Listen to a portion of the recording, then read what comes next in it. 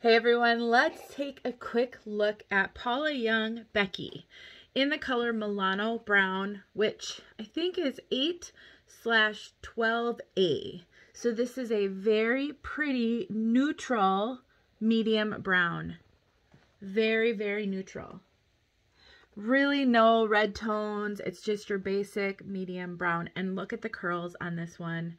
I love Becky. I actually have not worn Becky in a long time and a wig sister posted a picture of her Becky the other day and I thought why have I not worn this one so I pulled it out today you can see it has a lace front I did use just a little bit of powder on that lace front to make it a little less knotty it wasn't too bad that just helped a little bit and look at these curls Becky is fabulous.